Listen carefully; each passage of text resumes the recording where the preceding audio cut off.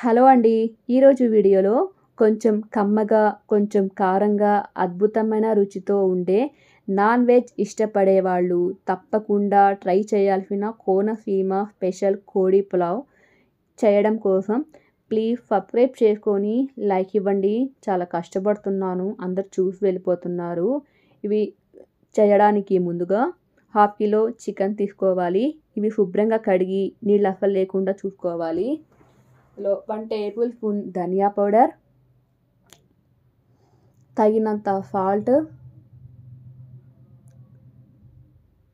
తినే కారాన్ని బట్టి చిల్లీ పౌడర్ కొద్దిగా స్పైసీగా ఉంటేనే బాగుంటుంది. కొద్దిగా పసుపు సగం నిమ్మకాయ రసం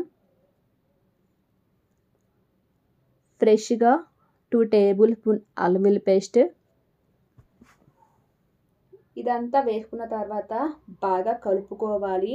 ఈ చికెన్ ముక్కలకి మసాలా బాగా పట్టించుకోవాలి. ఈ స్టేజ్లో ఉప్పు కారం ఏదైనా తక్కువైతే అడ్జస్ట్ చేసుకోవచ్చు. ఇలా కలుపుకున్న ఈ చికెన్ని బయటైనా పర్వాలేదు ఫ్రిడ్జ్లో అయినా పర్వాలేదు. ఇంకా హాఫ్ అన్ అవర్ పక్కన పెట్టేసుకుంటే మసాలా ముక్కకి బాగా పట్టించుకుంటుంది. ఇంకా వీటిని పక్కన పెట్టేసుకొని బాస్మతి రైస్ టూ గ్లాస్ వేసుకొని శుభ్రంగా కడిగి హాఫ్ అన్ అవర్ నానబెట్టుకుంటే బాగా అన్నం సాఫ్ట్గా ఉంటుంది. ఇంకా మసాలా కోసం మిక్సీ జార్లో వన్ టేబుల్ స్పూను కస్తూరి మేథి ఐదు లవంగాలు రెండు యాలకులు హాఫ్ ఇంచ్ చెక్క కొద్దిగా జాపత్రి వేసుకొని ఇదంతా నైఫ్గా నీళ్ళు అసలు వేయకుండా గ్రైండ్ చేసుకోవాలి. ఇంకా స్టవ్ ఆన్ చేసుకొని కడాయిలో తగినంత ఆయిల్ వేసుకోవాలి. సన్నగా కట్ చేసుకున్న హాఫ్ కప్పు ఆనియన్ వేసుకోవాలి. ఇంకా గ్రైండ్ చేసుకున్న రెండు పండు టమోటాలు వేసుకోవాలి. ఇదంతా వేసుకున్న తర్వాత ఒకసారి బాగా కలుపుకోవాలి. అడుగంటకుండా ఉంటుంది. సన్నగా కట్ చేసుకున్న కొద్దిగా కొత్తిమీర. ఇంకా గ్రైండ్ చేసి పక్కన పెట్టుకున్న లవంగం చెక్క పౌడర్ వన్ టేబుల్ స్పూన్ వేసుకోవాలి. ఇదంతా వేసుకున్న తర్వాత కలిపి పక్కన పెట్టుకున్న చికెన్ ముక్కలు వేసుకోవాలి. ఈ చికెన్ ముక్కలు వేసుకున్న ఒకసారి బాగా కలుపుకోవాలి. ఇందులో నీఫ్ నీళ్ళు ఊరుతాయి కాబట్టి అస్సలు నీళ్ళు ఏం వేయకుండా మూత పెట్టేసి పక్కన పెట్టేయాలి ఇది. ఇంకా రైస్ కోసం ఒక గిన్నెలో తగినంత ఆయిల్ వేసుకోవాలి. ఇందులో హోల్ మసాలా హాఫ్ ఇంచ్ చెక్క రెండు లవంగాలు బిర్యానీ ఆకు వేసుకోవాలి. ఇంకా మధ్యలో కట్ చేసుకున్న మూడు పచ్చిమిర్చి ఫ్రెష్గా టూ టేబుల్ స్పూన్ అల్లం వెల్లుల్లి పేస్ట్ సన్నగా కట్ చేసుకున్న కొద్దిగా కొత్తిమీర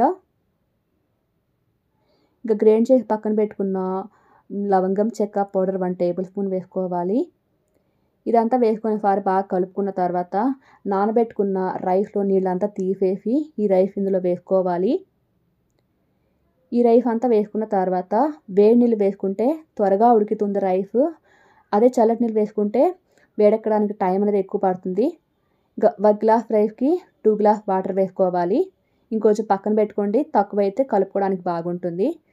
ఇందులో తగినంత సాల్ట్ వేసుకోవాలి. ఇదంతా వేసుకున్న తర్వాత ఒకసారి బాగా కలుపుకోవాలి. లేదంటే ఉండలు కట్టేస్తుంది రైస్.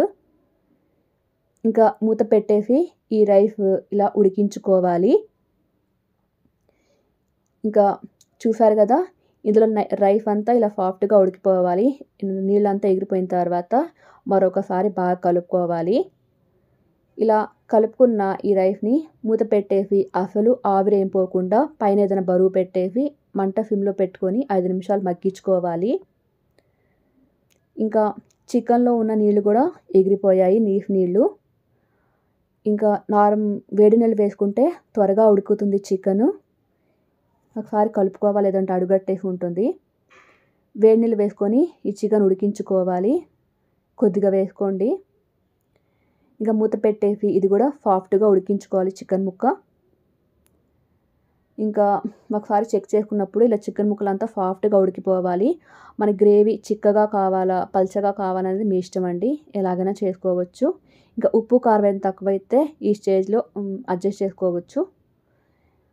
చూసారు కదా? ఈ రైస్ కూడా ఇలా సాఫ్ట్గా మగ్గిపోయింది. తీసిన వెంటనే కదిలించకూడదు. అన్నం ముద్దలా అయిపోతుంది. ఐదు నిమిషాలు వదిలేస్తే అదే సెట్ అయిపోతుంది. ఇంకా గ్రేవీ ఒక గిన్నెలో ఇలా అడుగు వేసుకోవాలి. కావాల్సినంత వేసుకోవాలి. ఇలా అంతా నీట్గా సర్దుకున్న తర్వాత పైనుంచి రైస్ వేసేయాలి. ఇలా అంతా రైస్ సర్దేసుకున్న తర్వాత ఇంకా ప్లేట్లో అయినా లేదా అట్టే ఆకు లేదా విసరాకు దేంట్లో అయినా వేసుకొని తింటే అదొక మజా టేస్ట్ అయితే సూపర్గా ఉంటుందండి. తప్పకుండా మీరు కూడా ట్రై చేయండి. ఇంకా ఇలా ఉల్టా చేసి చిన్నగా తీస్తే అలా చాలా చాలా బాగుంటుంది. నన్ను నమ్మి నా మాట మీద ఒక్కసారి ట్రై చేయండి. టేస్ట్ అయితే వేరే లెవెల్లో ఉంటుంది. బిర్యానీ కన్నా ఇది చాలా చాలా బాగుంటుందండి చాలా చాలా టేస్ట్గా ఉంటుంది. ఇంకా ఈ కమ్మగా కారంగా ఎంతో రుచిగా ఉండే ఈ రెసిపీ మీకు నచ్చినట్టయితే ప్లీజ్ సబ్స్క్రైబ్ చేసుకుని లైక్ ఇవ్వండి. చాలా కష్టపడుతున్నాను. అందరు చూసి వెళ్ళిపోతున్నారు.